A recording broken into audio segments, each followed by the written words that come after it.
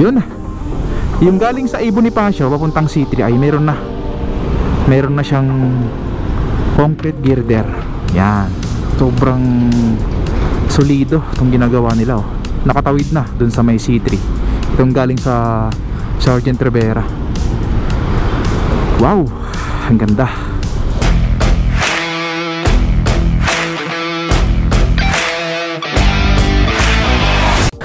So, bali ngayon ay mag-update tayo dun sa Sergeant Rivera Interchange dun sa Bonifacio tsaka C3 dun sa may boundary ng Caloocan. So pagas muna tayo dito sa may Petron. Sir sticker. Salamat. Alright so good day mga sir. So bali ngayong araw ay Martes October 19 so makakapag-vlog tayo dito sa may Sergeant Rivera Interchange. Dito sa may bandang uh, pagitan ng Quezon City tsaka Caloocan. So kailangan ko palang bumili ng gloves para sa safety din natin. Dahil sa mga biyahe-biyahe natin. So bali itong. Rodriguez entry ramp ay bukas na. Ito. So not sure kung kailan siya nagbukas pero ngayon ay pwede nang magamit so yun good news sa ating mga kababayan. At uh, bukas na to. E. Rodriguez entry ramp uh, papuntang ano to north. Right? Diretso lang tayo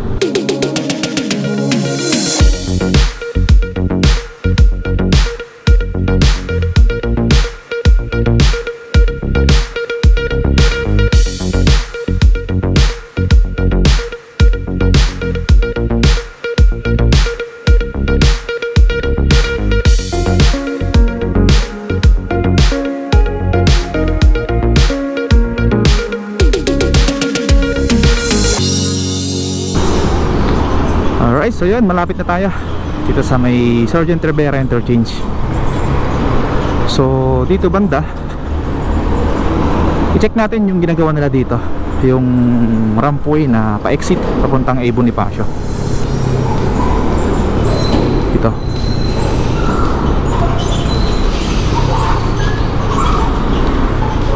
So, yun so far ganun pa rin uh, yung activity dito ay wala pa naman. Hindi pa naman gumagalaw dito. Ito kasi yung exit ramp eh. Ito yung exit ramp papuntang A. Bonifacio dito. Pero so far wala pa hindi pa gumagalaw. Dahil siguro sa ano uh, tatapusin nila muna to itong trunk line nya yan as you can see naman wala pa. Ito ito yung pundasyon ng ano eh. Uh, papuntang A. Bonifacio dito pakanan so wala pa. Hindi pa to ano gumagalaw. So yan diretso lang tayo dun sa uh, C3 so bali dito ngayon update sa traffic ay yan mabagal. Dahil ano ngayon eh uh, Martes at uh, mabagal yung dali ng trapiko dito. Matraffic. So ito ito yung papuntang ano uh, C3 na exit. At uh, makikita natin na mukhang matapos na to ngayong taon na to. So kang gumalaw. May ipit tayo sa may malalaking truck. Ah. ingat ingat tayo palagi mga kaibigan sa pag-drive ng motor dahil yun naranasan ko madisgrasya. Ay sobrang hirap pala. Yun. Yung galing sa Ibon Bonifacio papuntang C3 ay meron na. Meron na siyang concrete girder. Yan. Meron ng concrete girder at uh, sobrang solido itong ginagawa nila oh. nakatawid na dun sa may C3 itong galing sa Sergeant Rivera. Wow! Ang ganda malaking bagay sobrang laking bagay ito sa mga motorista pag natapos to. Dahil yung mga truck na malalaki ay pwede nang dumaan dyan. Galing mga pier mga ganun. At uh, sa ilalim niya ay hindi na gaanong traffic. Galing. Galing ng build build build project ng ating gobyerno. Saludo kami sa inyo. Sana yung mananalong presidente ay may pagpatuloy itong ah, proyekto na to dahil sobrang laking bagay sa mga Pilipino to. Para yung pag-unlad ng Pilipinas ay tuloy-tuloy hindi maantala. Yun tawid na tayo dito sa may C3 ito yung intersection po ah, ng A. Bonifacio Sergeant Rivera sa C3 so balik tawid tayo sa may C3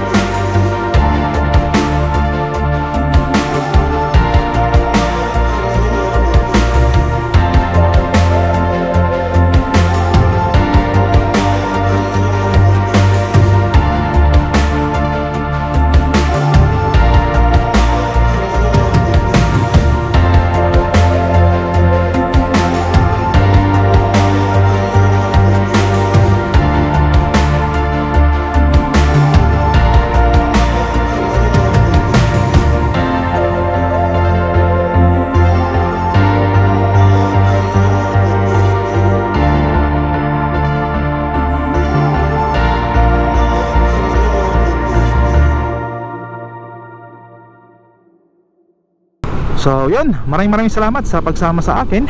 And again, this is Rex and this is Rex Droney TV Ride safe po sa ating lahat. Peace